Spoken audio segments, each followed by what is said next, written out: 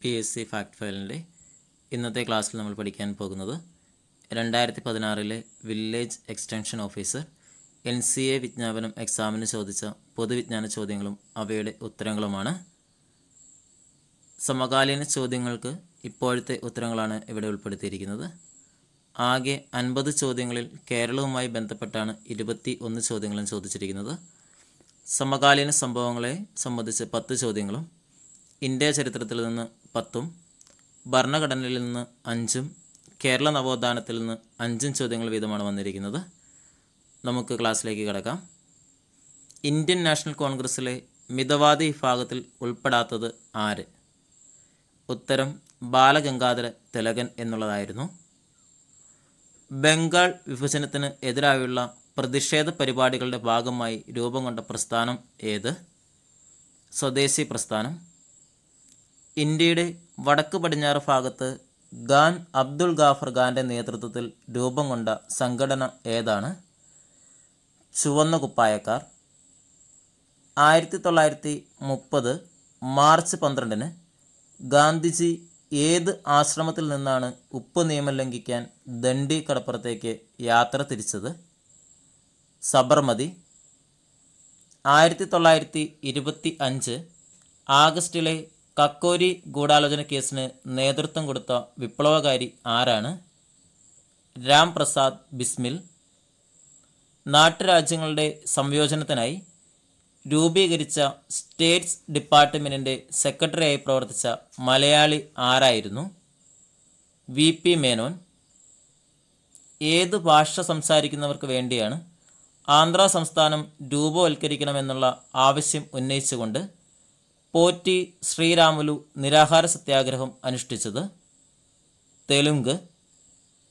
ഏത് വർഷമാണ് ഇന്ദിരാഗാന്ധി ഇന്ത്യയിൽ ആഭ്യന്തര അടിയന്തരാവസ്ഥ പ്രഖ്യാപിച്ചത്? ആയിരത്തി തൊള്ളായിരത്തി എഴുപത്തി അഞ്ച് ആയിരത്തി തൊള്ളായിരത്തി എഴുപത്തി ആറിലെ എത്രാമത്തെ ഭരണഘടനാ ഭേദഗതിയിലൂടെയാണ് മൗലിക കടമകൾ ഭരണഘടനയിൽ കൂട്ടിച്ചേർത്തത്? നാൽപ്പത്തി രണ്ടാം ഭേദഗതി. നമ്മുടെ ദേശീയ പതാകയിൽ ചുവടെ കാണുന്ന നിറം ഏതാണ്? പച്ച. ഇന്ത്യയുടെ ദേശീയ ഗീതമായ വന്ദേ മാതരം രചിച്ചത് ആരാണ്? ബങ്കിം ചന്ദ്ര ചാറ്റർജി. ദേശീയ വിവരാവകാശ നിയമം നിലവിൽ വന്ന വർഷം ഏതാണ്?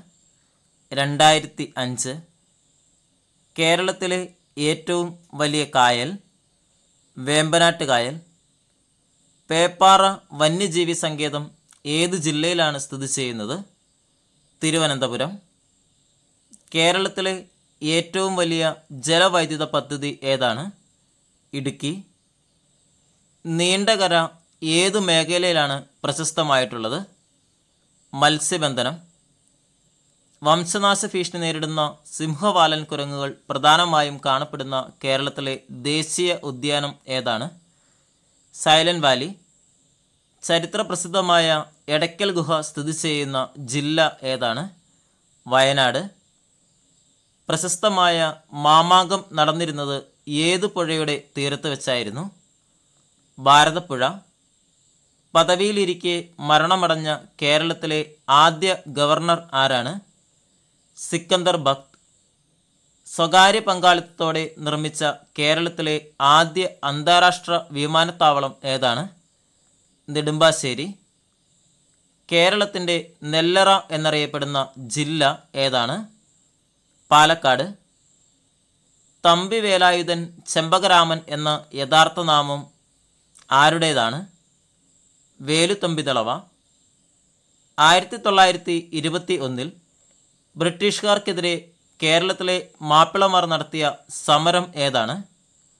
മലബാർ കലാപം സംഘടിച്ച് ശക്തരാകുവാനും വിദ്യ കൊണ്ട് പ്രബുദ്ധരാകുവാനും ഉപദേശിച്ച സാമൂഹിക പരിഷ്കർത്താവ് ആരാണ്? ശ്രീനാരായണ ഗുരു. മാറുമറയ്ക്കുന്നതിനുള്ള അവകാശത്തിനായി ആയിരത്തി എണ്ണൂറ്റി അൻപത്തി ഒൻപതിൽ കേരളത്തിൽ നടന്ന സമരം ഏതാണ്? ചാന്നാർ കലാപം. ആയിരത്തി തൊള്ളായിരത്തി മുപ്പതിൽ കെ കേളപ്പന്റെ നേതൃത്വത്തിൽ എവിടെ വെച്ചാണ് ഉപ്പ് നിയമം ലംഘിച്ചത്? പയ്യന്നൂർ. പൊതുവഴിയിലൂടെ നടക്കാനുള്ള സ്വാതന്ത്ര്യത്തിനു വേണ്ടി മന്നത്ത് പത്മനാഭന്റെ നേതൃത്വത്തിൽ കാൽനട ജാഥ വൈക്കത്ത് നിന്ന് ഏത് പ്രദേശത്തേക്കാണ് നടത്തിയത്? തിരുവനന്തപുരം. പ്രശസ്തമായ വില്ലുവണ്ടി യാത്ര നടത്തിയ കേരളത്തിലെ നവോത്ഥാന നായകൻ ആരാണ്? അയ്യങ്കാളി. ഗുരുവായൂർ സത്യാഗ്രഹത്തിലെ വളണ്ടിയർ ക്യാപ്റ്റൻ ആരായിരുന്നു? A K Gopalan. ആയിരത്തി തൊള്ളായിരത്തി ഇരുപത്തിയെട്ട് മെയ് മാസം പയ്യന്നൂരിൽ നടന്ന നാലാം കേരള സംസ്ഥാന കോൺഗ്രസ് സമ്മേളനത്തിൽ അധ്യക്ഷത വഹിച്ചിരുന്നത് ആരായിരുന്നു? ജവഹർലാൽ നെഹ്റു. ഒന്നേകാൽ കോടി മലയാളികൾ ആരുടെ ഗ്രന്ഥമാണ്? E M Sankaran Namboodiripad. ഏത് ഗവൺമെന്റ് മെഡിക്കൽ കോളേജിലാണ് കേരളത്തിൽ ആദ്യമായി ഹൃദയമാറ്റ ശസ്ത്രക്രിയ വിജയകരമായി പൂർത്തിയാക്കിയത്? Kottayam medical college. കേരളത്തിലെ ഏത് നഗരസഭയ്ക്കാണ് ഇന്ത്യയിലെ ആദ്യ സമ്പൂർണ സൗജന്യ വൈഫൈ നഗരസഭ എന്ന പദവി ലഭിച്ചത്? മലപ്പുറം. പ്രഭാത കിരണങ്ങൾ ഏൽക്കുന്ന മലകളുടെ നാട് എന്ന വിശേഷണമുള്ള ഇന്ത്യൻ സംസ്ഥാനം ഏതാണ്? അരുണാചൽ പ്രദേശ്. ഉപദ്വീപീയ പീഠഭൂമിയിലെ ഏറ്റവും ഉയരം കൂടിയ കൊടുമുടി ഏതാണ്? ആനമുടി. കൊങ്കൺ റെയിൽപാതയുടെ ദൈർഘ്യം എത്ര കിലോമീറ്ററാണ്? എഴുന്നൂറ്റി അറുപത് കിലോമീറ്റർ. ഏഷ്യയിലെ തന്നെ ആദ്യത്തെ ആണവ വൈദ്യുതി ഉൽപ്പാദന കേന്ദ്രം ട്രോംബെയിൽ സ്ഥാപിതമായ വർഷം ഏതാണ്? ആയിരത്തി തൊള്ളായിരത്തി അൻപത്തി ആറ് ഏത് രാജ്യത്തിന്റെ സാങ്കേതിക സഹായത്തോടു കൂടിയാണ്? ആയിരത്തി തൊള്ളായിരത്തി അൻപത്തി ഒൻപതിൽ ദുർഗാപൂരിൽ ഹിന്ദുസ്ഥാൻ സ്റ്റീൽ ലിമിറ്റഡ് എന്ന ഇരുമ്പുരുക്ക് വ്യവസായം ആരംഭിച്ചത് ഇംഗ്ലണ്ട്. ആയിരത്തി എഴുന്നൂറ്റി അൻപത്തി ഏഴിൽ പ്ലാസിയിൽ വെച്ച് ഈസ്റ്റ് ഇന്ത്യ കമ്പനിയുടെ സൈന്യവുമായി ഏറ്റുമുട്ടിയത് ആരാണ്? സിറാജ് ഉദ്ദൗള റാണി ലക്ഷ്മിഭായി ഏതു നാട്ടുരാജ്യത്തെ ഭരണാധികാരിയായിരുന്നു? ദാൻസി. ഇപ്പോഴത്തെ ദേശീയ മനുഷ്യാവകാശ കമ്മീഷൻ അധ്യക്ഷൻ ആരാണ്?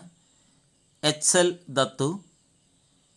കേരള സംസ്ഥാന മുഖ്യ തെരഞ്ഞെടുപ്പ് കമ്മീഷണർ ആരാണ്? Tikaram Meena. Indian cricket control ബോർഡിന്റെ ഇപ്പോഴത്തെ പ്രസിഡന്റ് ആരാണ്? C K Khanna. രണ്ടായിരത്തി പതിനെട്ടിലെ ജെ സി ഡാനിയൽ പുരസ്കാരം ലഭിച്ചത് ആർക്കാണ്? ഷീല. ഇന്ത്യയിലെ ഇപ്പോഴത്തെ മുഖ്യ വിവരാവകാശ കമ്മീഷണർ ആരാണ്? സുധീർ ഭാർഗവ. കേരള നിയമസഭയിലെ ഇപ്പോഴത്തെ സ്പീക്കർ ആരാണ്? പി ശ്രീരാമകൃഷ്ണൻ. എഴുപത്തി മൂന്നാമത് സന്തോഷ് ട്രോഫി കിരീടം കരസ്ഥമാക്കിയ ടീം ഏതാണ്? സർവീസസ്. രണ്ടായിരത്തി പതിനെട്ടിലെ എഴുത്തച്ഛൻ പുരസ്കാരം കരസ്ഥമാക്കിയത് ആരാണ്? എം മുകുന്ദൻ. രണ്ടായിരത്തി പതിനെട്ടിലെ ഏറ്റവും നല്ല ഗ്രാമപഞ്ചായത്തിനുള്ള സ്വരാജ് ട്രോഫി ലഭിച്ചത് ഏത് പഞ്ചായത്തിനാണ്? കണ്ണൂർ ജില്ലയിലെ പാപ്പിനശ്ശേരി ഗ്രാമപഞ്ചായത്തിന്.